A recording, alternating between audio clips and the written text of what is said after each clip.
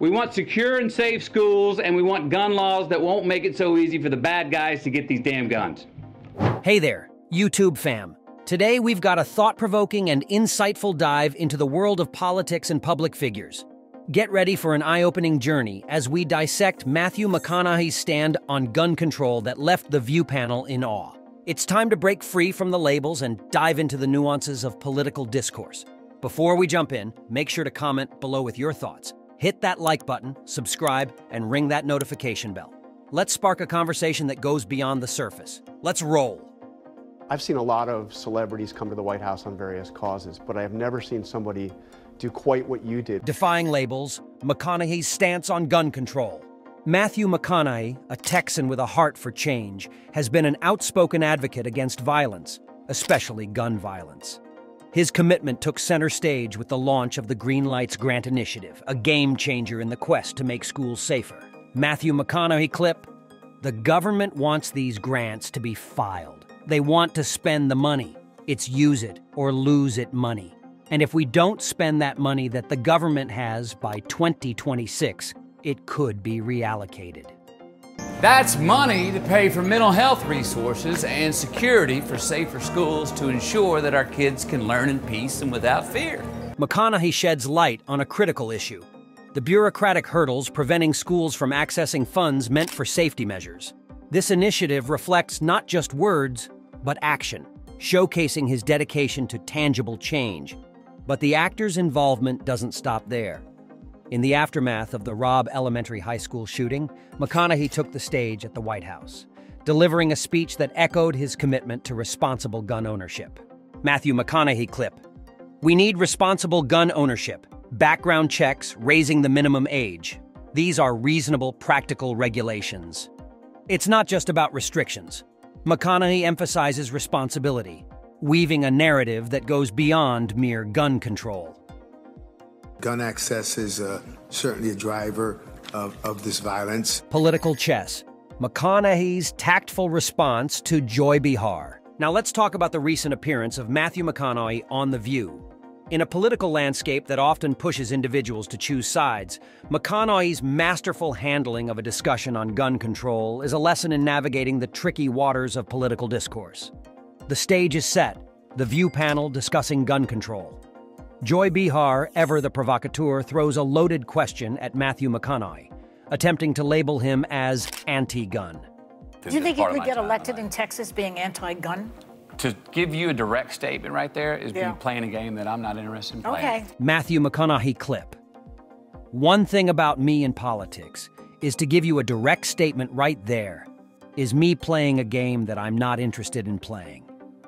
McConaughey's response is a strategic move, a refusal to be pigeonholed into a divisive narrative. It's a masterstroke in political chess, demonstrating his unwillingness to conform to the labels society often imposes. Later, when asked about his political future, McConaughey responds with tact, hinting at the possibility, but with a condition, if it's where he deems himself most useful. Matthew McConaughey clip. If it's where I would deem myself to be most useful, yeah, yes. What's fascinating here is not just the rejection of labels, but McConaughey's refusal to play the game of political polarization. The Second Amendment defenders could talk responsibility. They could look you in the eye and talk responsibility with someone from the other side of the aisle. Beyond words, analyzing McConaughey's White House speech. Examining McConaughey's speeches, especially at the White House after the Robb Elementary High School shooting, reveals a nuanced perspective on gun control. His words were carefully chosen, emphasizing the need for responsible gun ownership. Matthew McConaughey clip We need responsible gun ownership, responsible gun ownership. We need background checks. We need to raise the minimum age to purchase an AR 15 rifle to 21. We need a waiting period for those rifles. We need to raise the minimum age to purchase an AR 15 rifle to 21. We need red flag laws and consequences for those who abuse them. These are reasonable, practical, tactical regulations. To our nation, states, communities, schools, and homes. Responsible gun owners are fed up with the Second Amendment being abused and hijacked by some deranged individuals. These regulations are not a step back, they're a step forward for a civil society and the Second Amendment. Notice the precision in his language. It's not merely about control, but responsible ownership. McConaughey navigates the sensitive topic with a call for practical regulations, avoiding the pitfalls of divisive rhetoric. His plea for a civil society where responsible gun owners are not overshadowed by the actions of a few speaks volumes. McConaughey carefully crafts a message that goes beyond party lines, focusing on what unites us rather than what divides.